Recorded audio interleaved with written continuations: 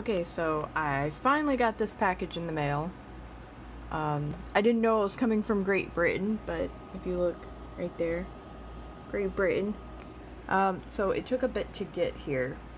And I'm gonna go ahead and open this up and try not to show any, any personal information. Um, try to open this up with one hand because, uh, you know, phone cameras are where it's at, right? Oh my lord, this isn't working. Okay.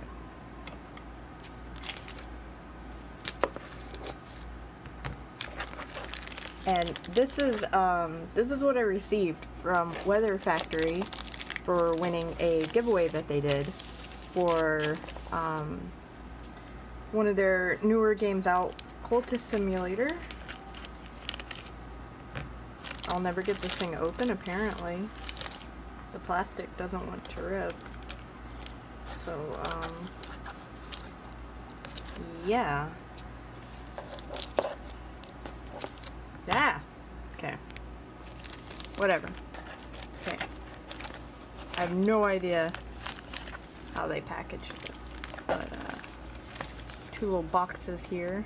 Get that out of the way.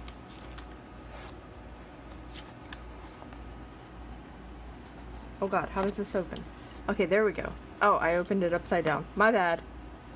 My bad. Okay, so these are actually little, um, can't get the top off. There we go. They're little USB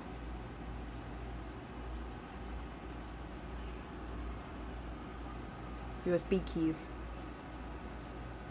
And they are meant to look like the grimoires in Cultist Simulator. See if I can get that back on backwards. Yep, that's uh that's how that's how you do that.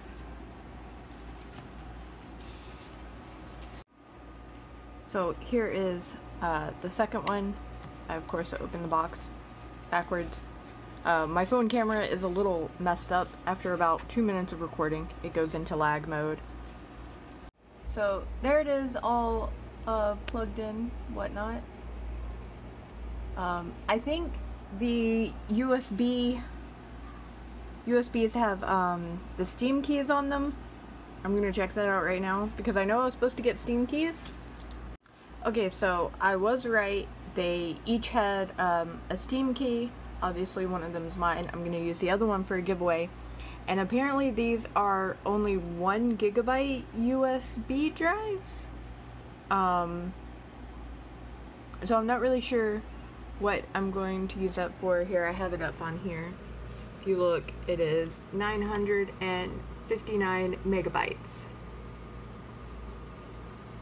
I still had it up on my screen. Um, but these are the USBs and the little boxes that they came in. And then I also got two um, Cultist Simulator game Steam keys.